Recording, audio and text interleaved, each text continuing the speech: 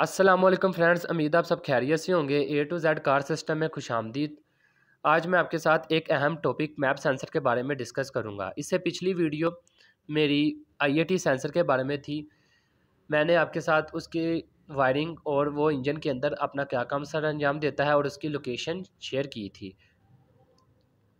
आज मैं आपके साथ मैप सेंसर के बारे में डिस्कस करूँगा।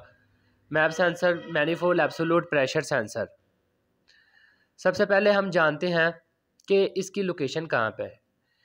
कुछ कंपनीज़ ने इसकी लोकेशन थ्राटल बॉडी के ऊपर दी है और कुछ कंपनीज़ ने मैनीफुल के ऊपर।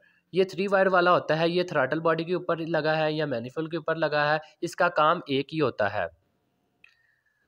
अब हम बात करते हैं कि ये इंजन के अंदर अपना क्या काम सर अंजाम देता है। ये सेंसर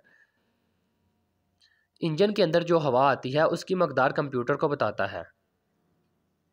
ये इस सेंसर में एक सिलिकॉन चिप लगी होती है, एक किस्म का डायफ्राम है, जो हवा के प्रेशर से अप और डाउन होता है, इसके वोल्टेज अप और डाउन होते हैं, इंक्रीज़ होते हैं, डाउन होते हैं, जिससे कंप्यूटर को पता चलता है कि इंजन के अंदर जो हवा आ रही है, उसकी मकदार कितनी है। फिर कंप्यूटर उस हिसाब से फ्यूल एडजस्ट करता है।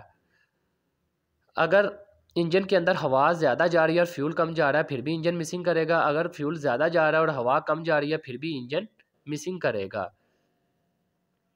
तो फिर उसी लिहाज से कंप्यूटर इस सेंसर से पता चलाता है कि इंजन के अंदर जो हवा आ रही है, उसकी मकदार कितनी है।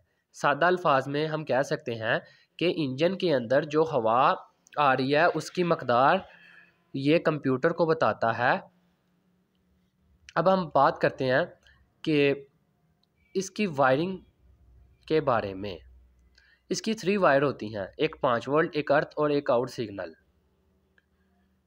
कितनी? थ्री वायर्स होती हैं, एक पाँच वोल्ट एक अर्थ और एक आउट सिग्नल अब मज़े की बात क्या है?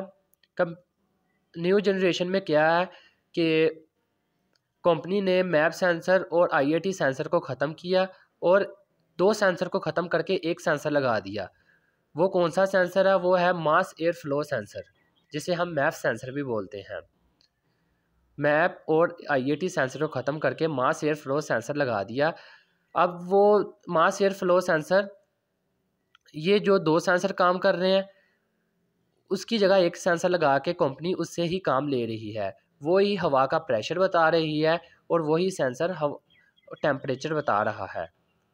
अब उसके बारे में डिटेल से मैं नेक्स्ट वीडियो में बात करूँगा। उम्मीद है कि आपको मैप सेंसर के बारे में समझ आ गई होगी। उसका काम क्या है। और मैं इसी से अपनी वीडियो को एंड करता हूँ।